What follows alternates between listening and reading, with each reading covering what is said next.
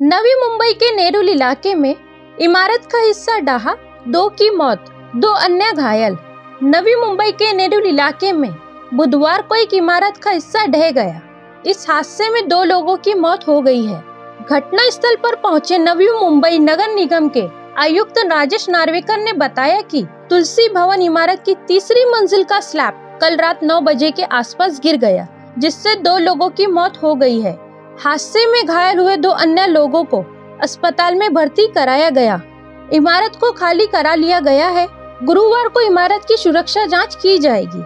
मौके पर पहुँचे अधिकारी ने क्या जानकारी दी है? आइए सुनते हैं। करीब रात को 9 बजे आ, इस बिल्डिंग का तुलसी भवन बिल्डिंग का थर्ड फ्लोर का स्लैब जो है वो कोलैप्स हुआ। सेकेंड फ्लोर पे गिरा सेकेंड का फ़र्स्ट पे गिरा।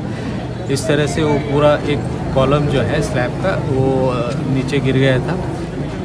ये तीनों फ्लोर पे मिलके करीब सात लोग थे। उसमें से तीन लोगों को स्पॉट से ही रेस्क्यू किया गया है और चार लोगों को हॉस्पिटल में भेजा गया था, जो निचले फ्लोर पे थे।